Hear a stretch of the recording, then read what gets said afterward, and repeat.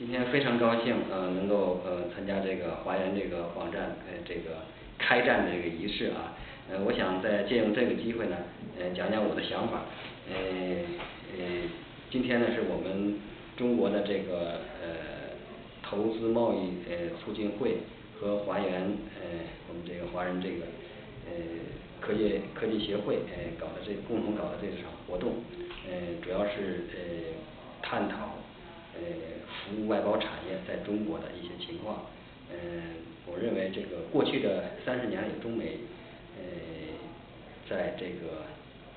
经济贸易政治各个方面的领域里呃在加强双方的关系上呃做了很多工作，世界也在过去的三十年里头呃取得了这个非常显著的变化，呃人们在政治上在科技上有了许多的呃现在跟过去的三十年有许多不同。嗯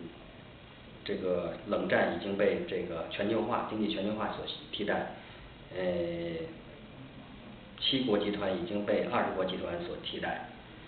呃人们常用的这个呃书信已经被 email 所替替代。人们呃我们的这个百科全书已经被 wikipedia 所替代。呃所以现在这个新的这种经济环境下